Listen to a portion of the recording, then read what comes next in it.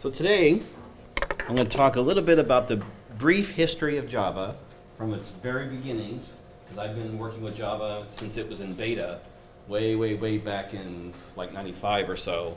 Um, a lot of stuff has changed in Java. I have a lot of very strong opinions on some of those changes, which we'll be talking about tonight. So I have a disclaimer. The contents of this presentation are strictly my opinion. They're not reflected in any way, shape, or form by Omaha Java Users Group, any of you, potentially anybody in this entire building, or for that matter, anyone with the possible exception of me. so just keep that in mind. Some of this stuff is going to sound like crazy talk. so with that out of the way, I can say whatever I want. I am a software wizard. And I'm a coding demigod. because, you know, no one's here to dispute that. And of course, if there are any .NET people in the room, I need to have a little pictogram for them. The .NET guy in the back. So there is the title of today's presentation. It's a brief history of Java. I got, I got to simplify things sometimes for the .NET guys. You never know. a brief history of me.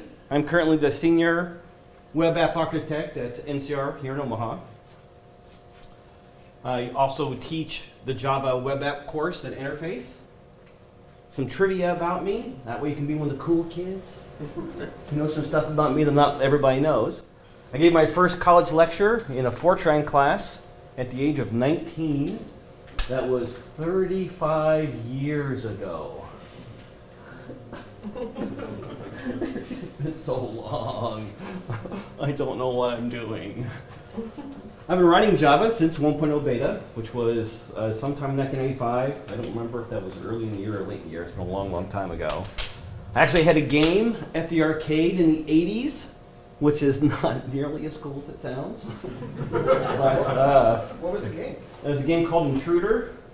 I didn't actually write it uh, for the arcade. I wrote it for a platform called the APF Imagination Machine, which was kind of like an Atari unit, it was just a game console uh, back then, and it sat inside of a keyboard that had tape deck and everything, and it connected together and became a computer. And so I wrote, uh, I wrote a bunch of stuff for that machine, and then the company who owned it, APF Electronics, got purchased by Bally Midway, and turned some of my stuff in, turned one of my programs into an arcade game called Intruder. Yeah, it was kind of weird, but yeah, so not nearly as cool as it sounds, because you know I didn't really have anything to do with it. I just wrote the code and. Did you get any royalties? Pardon? Did you get any royalties? No, because I sold it to APF Electronics, and then it was just a game that they distributed. So by the time we got to the arcade, I was no longer involved anymore. So you actually spent quarters on your own game and lost one. I did actually. I did. I lost a lot of quarters in that game. Is there I- an emulator for it? Is there what? An emulator? Can we play it? Uh, I've never looked. Feel free to look. We have found your Commodore 64 stuff though, Yeah. so it's possible. I don't have any of this on here, but. I did a lot of Commodore 64 programming too, and Nick actually found some, some stuff on some of my old 64 stuff from the late 90s, a long time ago. I'm the 2013 Cornhusker State Games chess champion. There you go. There you go. Worked hard for that one. I also have a twin brother, Kevin, who is, coincidentally enough, also a Java developer. That's what he thinks. He doesn't really know Java. Does he share your opinion? He doesn't really. He's not here to defend himself, so he doesn't really know Java. So I've been doing this for a very long time, which of course means I might be biased. However, Java is the one language to rule them all. I'm telling you, it is.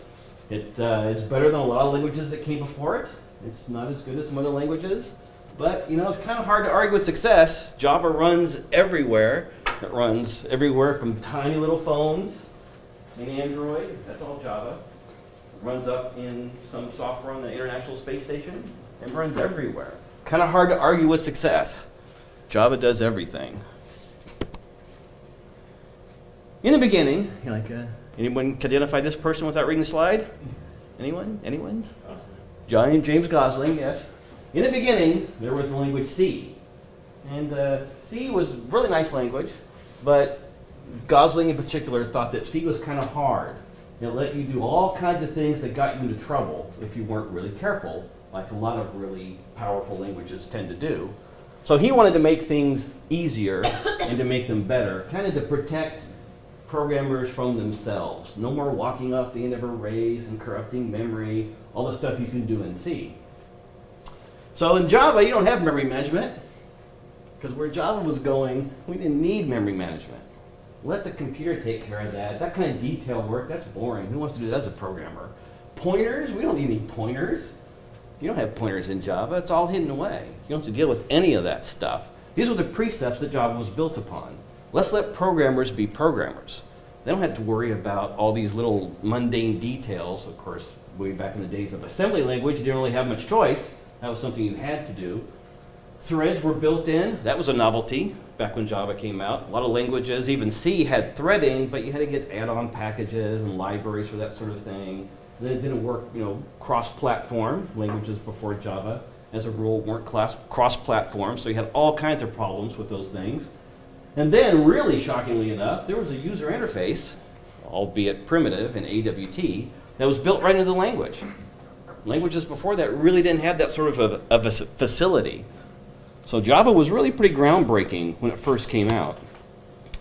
But before the beginning, there was a language called Ada, which did almost everything that Java does, and I would argue does it better. And that was back in the 80s. It had memory management with garbage collection. It didn't really do referencing. It protected programmers from being bad and walking off the end of memory and doing things just like Java does. It had threads, even had generics back in the 80s. Java didn't get that till pretty recently. But back in the 80s, they did all that stuff. Didn't have any WORA, okay? Trivia time. Anyone know what that means? Right, write, once, run anywhere. Didn't really have that, but it was close. Ada, you could cross-compile. It was built from the ground up to be cross-compiling to a lot of major platforms at that time. So it was pretty close to write once anywhere. You still had to recompile, but you didn't have to go scrounging tools together to do it. It came with the platform.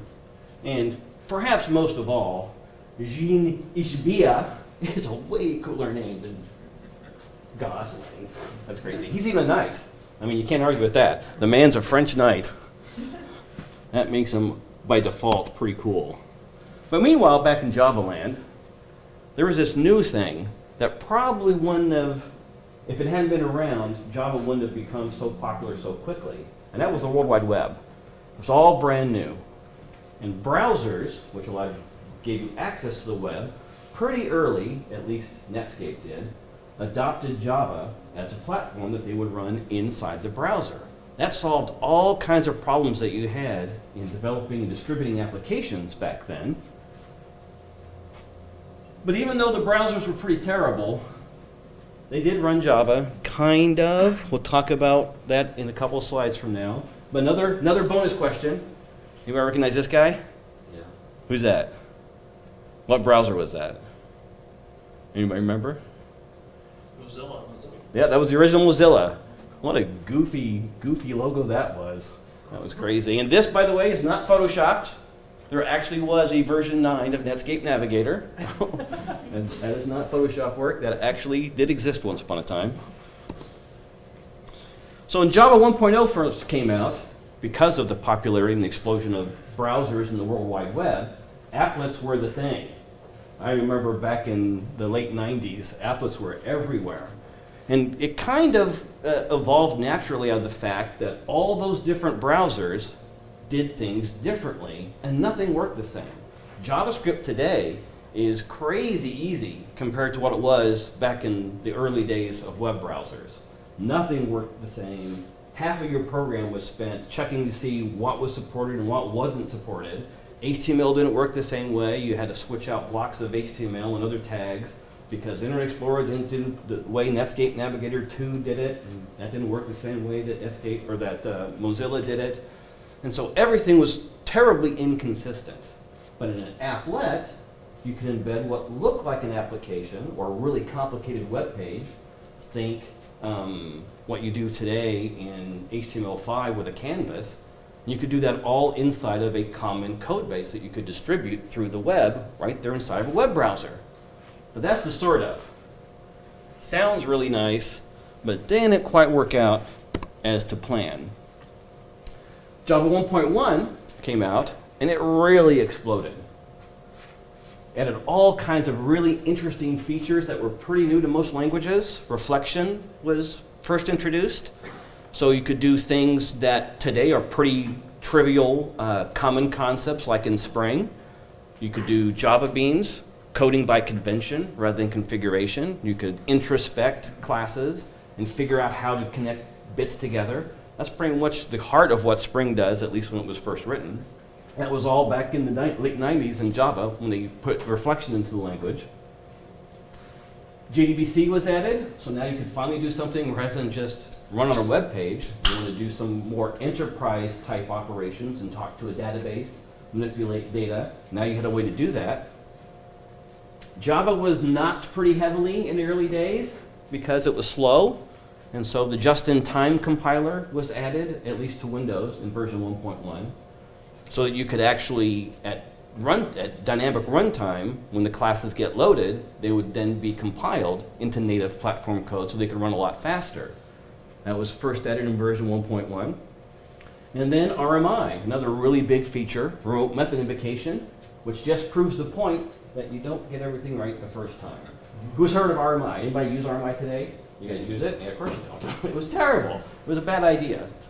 It was an interesting experiment, but not everything in Java, as we're going to see in a little while, was a good idea. About this same time, when 1.1 came out and they were progressing through the different dot releases of 1.1, IDEs began to emerge. So it was no longer code something up in Notepad, open up a console window and compile it with a command. You could actually do your development in an IDE, which solved all kinds of things that were kind of a pain before, like mm, compiling in a console and then, oh, reading the line numbers for your errors and then going back into Notepad and hopefully you had line numbers so you didn't have to count them out and find where the errors were and then correct everything by hand and then do the whole process again. That was terrible. That was really, really painful. IDEs really helped that a lot. This is the one I used a lot way back then, Visual Cafe. It died about every 30 minutes at best. It would crash, but you know, it was better than the command line. So everything was made a lot faster and a lot funner. Yes, Melanie, I said funner. I did. I didn't say more fun. If I said more fun, it pushed it down and it was off the screen. So it says funner. That's why it's there.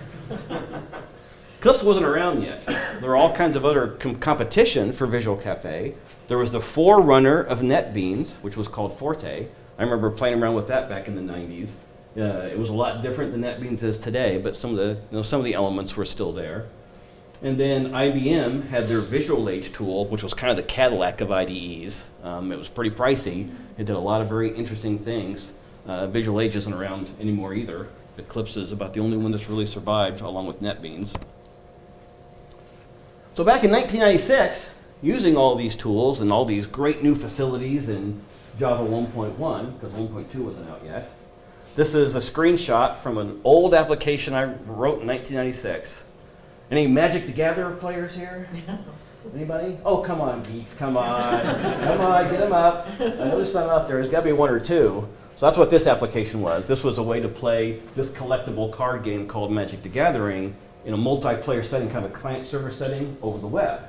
And because it was all applet-based, and applet-based uh, applications could also be run without a web browser, you had the choice. You could run this inside your web browser, or if you wanted to, you could download all the jar files.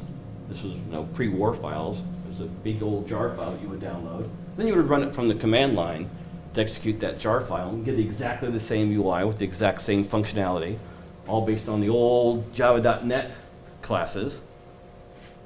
That was a pretty interesting application to write. All AWT based. Swing wasn't around yet. So this was all strictly AWT API and a lot of custom drawing stuff to make that work. But it really shows what you could do with Java. This was what they this was the vision that Gosling had was I want a platform independent language with a UI, with multi-threading, with client server functionality built in, so you could do ridiculous applications like this. And you know, boring business ones too. But this was a lot more fun. Then Java 1.2 came out, and you know the people who drive Java went insane and decided that they needed at least three different names for the same product. Java 1.2, uh, Java 2 and J2SE, E, which is Java 2 Standard Edition. All three of those names were interchangeable. I don't know who dreamed up that scheme, but that's just in, I don't know why you need three names for the same thing. And Java really, really exploded back then. It was a pretty small download before. In 1.1, I think the whole download was maybe 2 meg. And when uh, 1.2 came out, it increased by about a factor of four or so. It was huge I mean, for that day, for that time period. The number of classes quadrupled because they added all kinds of really good stuff like Swing. They finally gave up the Ghost on AWT and decided that it was just too primitive. And so they made a proper UI that had a lot more controls and a lot more flexibility called Swing. When you swing today, uh, of course you don't. That's dead too. You don't use Java for, for UI applications anymore. Used to be a big thing back in the 90s, but not anymore. And collections were finally added. Prior to 1.2, you basically had three. You had vectors, you, well, and arrays, I guess before. Arrays, vectors, stack, and uh, I'm forgetting the last one. Enumeration. Enumeration, yep. That was all you had. That was it. Kind of hard to get anything complicated done. So a lot of people like me ended up writing their own classes that are now stuff in collection. I've got some, you know, I hesitate to bring this up, but if you if you go to my website, Twin Peaks, actually that, that website's gone. Never mind, you can't go there anymore. I forgot. But uh, my website used to have until last year a lot of old programs that I wrote back in the 90s, and it was still running. And I never upgraded any of my software that I wrote to use collections or anything else because I had all the libraries I'd already written that did trees and maps and all the stuff that you didn't have in Java 1.1. And then finally, around the turn of the century, J2EE E finally arrived, which added all kinds of interesting stuff to the Java universe. Like, uh, well, you can actually write web applications, you know, CGI type stuff without Perl and without PHP. That's actually possible in Java. Finally was. That was really cool because anyone who's done anything with Perl, anyone who's done anything with Perl should know that it's kind of crazy. Perl can get out of control really quickly. But servlets allowed you to do the same sort of thing in a Java environment. Now you're platform independent. You can run anywhere you want, a lot more higher level. You had JSPs, so you could combine HTML with Java. And I don't care what anybody says, JSPs are not dead. No, they're not. JSPs will live forever. I'm telling you all right now, JSPs will live forever. No one can tell me differently. And EJBs were invented, you know, yay. Once again, proving that not everything added to Java was a good idea. Now, some of you who might work in E EJB3 might disagree, and I would agree with you. E EJB3 is actually pretty good. But I, I really want to emphasize how bad E EJB1 and even E EJB2 were. They were terrible, absolutely terrible. I, I would say they were a mess, but that would just you know send the wrong message to actual messes. Uh, this is a direct quote from me back in 2000. I can't remember where I was working at the time, but I had to look at EJB specification and ran through it all. And that was a direct quote to my coworker. What is this crap? no one will ever make use of this mess. And you know, who nobody does EJB one. Nobody does EJB two. EJB three is still around. It's got some interesting characteristics, but they finally learned their lesson. It took them, you know, a couple iterations, but they finally got through it and figured out how to do that sort of enterprise level of segmentation correctly. It just took, you know, 15 years or so. So shortly after all that stuff was introduced to the language, IDEs really took off. Uh, Symantec Visual Cafe and the old Forte, those were pretty primitive by modern IDE standards. And they had to grow to support everything that the environment did as well. Eclipse finally came out with a lot of help from IBM. Forte kind of went away and they rebranded it as NetBeans, rewrote a lot of the core stuff that they figured they got wrong. Redid it as NetBeans. IntelliJ finally came out. That was a pretty nice one. Kind of pricey at the time. I stayed away from it. I did NetBeans and Eclipse because I, I don't like to pay for tools. I like them for free. And the most important thing of modern IDEs, autocomplete. I was a dictionary for everybody I ever worked with. They could, you know, thumb through their book and try to find the right API, or they could just ask me. and now you don't have to ask anybody. You don't even have to know the API. Just start typing. You'll get a list. You'll figure out usually if it's properly done API, you can kind of figure out what you should be calling. It's not that hard. That was really handy. That was my most my favorite thing about modern IDEs was the addition of autocomplete. And then we're going to kind of lump a lot of the rest of this together. Java 1.3 to 1.6. Frameworks take over. Who uses frameworks? Everybody does. Of course you do. Frameworks solve all kinds of interesting problems. To help with development, this is just a list I could come up with off the top of my head. Struts and Spring and Tiles and Wicket and Tapestry and later on JSF and Site Mesh, Spark Click. A lot of those are dead now, but Strut, that's because pretty much Spring and maybe JSF to a lesser degree have taken over that space. Everybody uses Spring these days. There's almost no competition because Spring is so ubiquitous. It has so many different moving parts that can solve so many different problems. Now we're going to editorialize a little bit. JSP versus JSF. I told you JSP was not dead. and now I'm going to prove it. And to a lesser degree, scriptlets versus EL. This is my standard statement on JSF. Anything that you can do in JSF and EL, I can do in JSP with a scriptlet. But the opposite is absolutely not true. So which is more powerful? Of course, powerful doesn't mean better necessarily, but when I'm solving problems in computer science, I like to have the most powerful tools I have available. So when I develop, I develop with JSP. I played around with JSF, but I always ran into problems that I could not solve in a very eloquent way without resorting to jumping through hoops I don't want to jump through that I could solve in a trivial manner with the scriptlet inside of a JSP. I'm not afraid of a little code and HTML mix-up. That's okay with me. So what frameworks do for you, this is a pretty standard list, I think.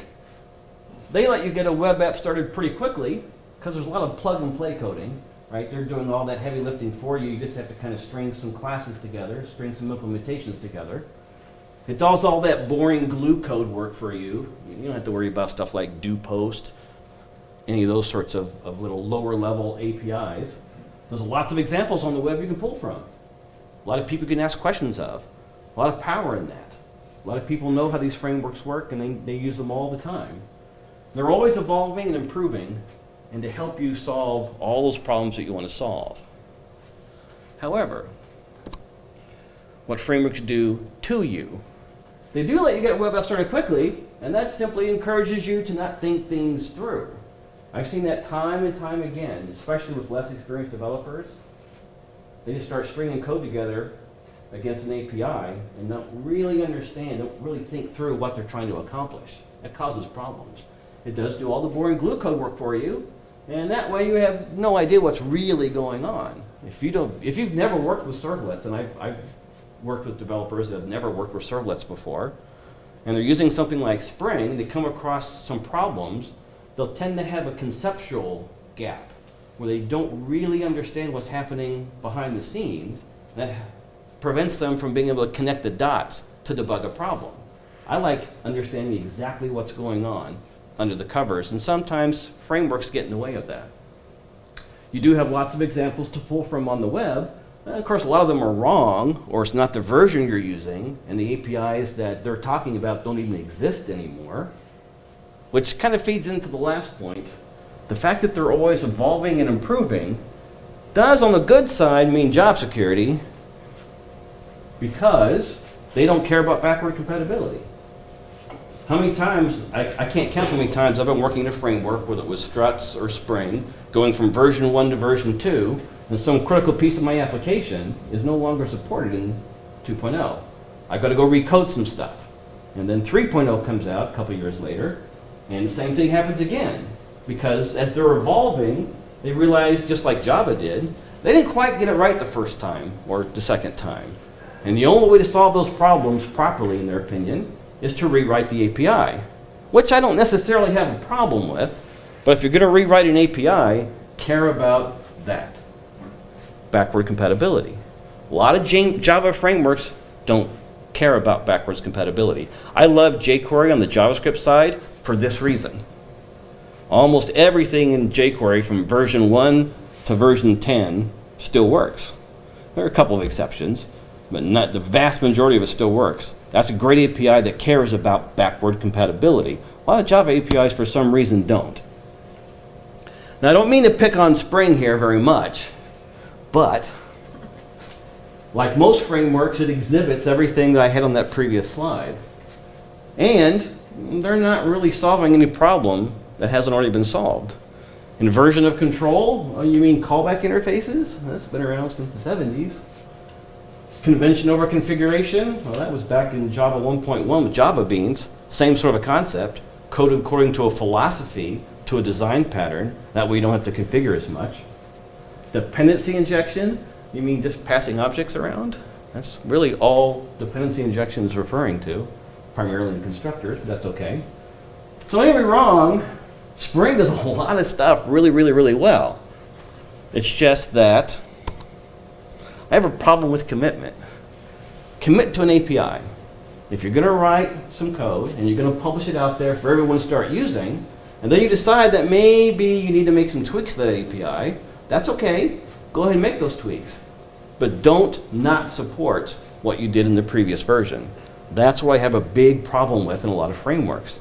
It goes back to backwards compatibility. They just don't care about it. And if you're working on a project, like the project we're doing right now at NCR, that we know is going to be going on for absolute minimum of five years just of development before it has to be out, out in production for 15 or 20 years. I don't want to care that Spring 5 is going to come out and change things, and then five years down the road, Spring 7 is going to be out. After version 6 is a disaster, who knows? It happens. I don't want to be supporting code. I don't want to be supporting code on something that's two or three releases old, only to discover that there's a bug somewhere in that code, and of course it was two or three releases ago. The open source developers who are working on it aren't going to fix that bug in that old version anymore. It's going to be my job. That's the beauty of open source. If I want to dig through that, you know, 500,000 lines of code, I can probably fix that bug myself.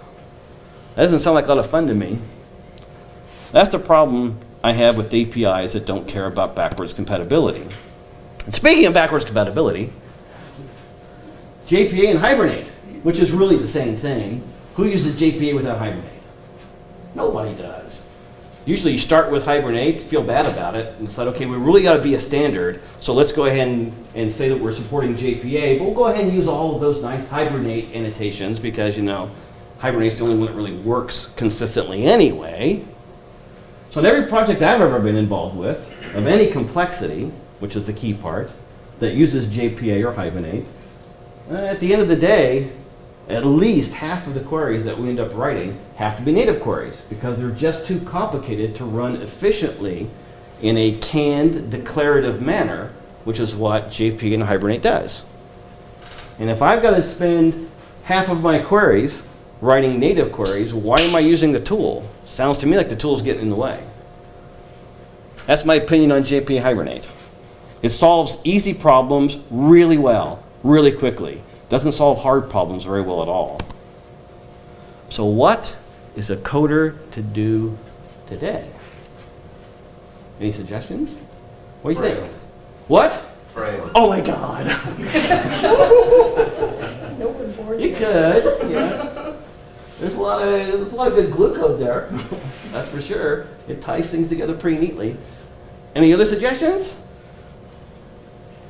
Frameworks aren't all bad. There are good ones out there as long as you're willing to live with the little list I had on the baggage that comes with them.